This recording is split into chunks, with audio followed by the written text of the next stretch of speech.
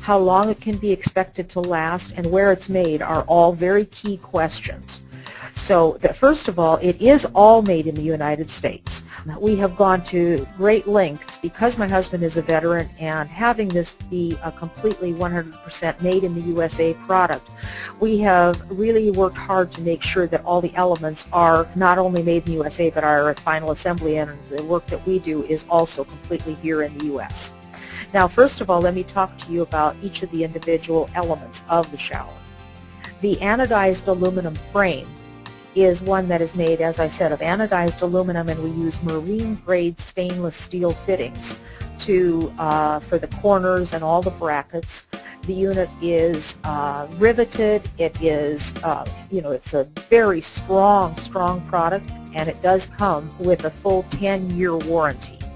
The other element to this pan, which is excellent for long-term use and for the safety and the quality of the product, is that there's actually a wedge of foam that is built into the pan so that the wheelchair can roll over the front edge of the that wedge or the thick edge of the wedge, but then the water gets diverted to the back of the pan.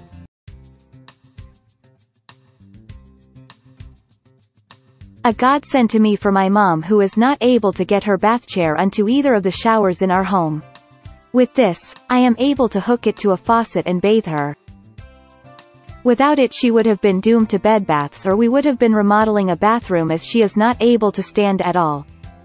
With this, I just set it up and wheel her in her bath chair into it. Turn the pump on put drain hose in to drain water out as I bathe her and I have a happy, clean mom. It has been very well thought out and the support is wonderful from the people who make them. It enabled me to keep my mom in my home rather than put her in a nursing home.